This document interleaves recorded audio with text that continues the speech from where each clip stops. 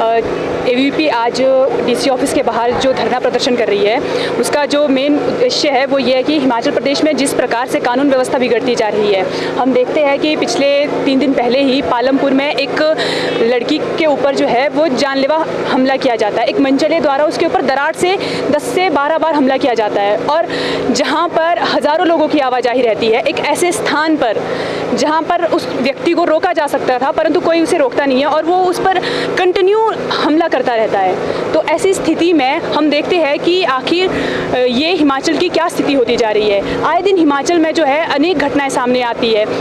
हम देखते हैं कि पालमपुर में ही जब ये घटना हुई है, उससे तीन चार दिन पहले एक महिला का शव बरामद होता है जंगल में। आप सभी को इस विषय में जानकारी होगी।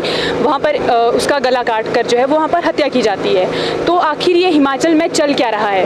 पालमपुर में ये एक और घटना भी सामने आई थी दो तीन दो तीन महीने पहले कि वहाँ पर ज़मीनी विवाद को लेकर जो है, वो गोलियाँ चल रही थी। तो आखिर हिमाचल में इस प्रकार की स्थिति पैदा क्यों हो रही है? क्या लोगों को कानून का डर नहीं रह गया है? आखिर आपराधिक घटनाएँ इतनी बढ़ क्यों रही है? और हिमाचल में इस प्रकार की आपराधिक घटनाओं, घटनाएँ होने का जो है वो कारण क्या है? हम यही जानना चाहेंगे और जो प्रदेश सरकार है, वो इन घटनाओं को रोकने के लिए आखिर क्या कदम उठा रही है? और आज का ही अगर हम न्यूज़पेपर खोल के देखें तो हम देखते हैं कि आज जो है वो नालागढ़ में महिला को जो है वो दो मंचलों द्वारा अगवा किया जाता है। और बद्दी में एक जो है वहाँ पर गोलियाँ गोलियाँ बरसाई जाती है, गोलीकांड होता है। तो आखिर हिमाचल प्रदेश में ये बिगड़ती कानून व्यवस्था का क्या कारण है? सरकार इस विषय पर क्या कदम उठा रही है? आए दिन हिमाचल में ऐसी घटनाएँ क्यों घटित हो रही है?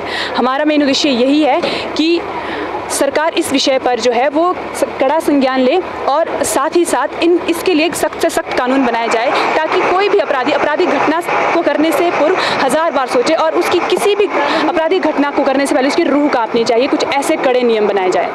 bureau report city channel Shimla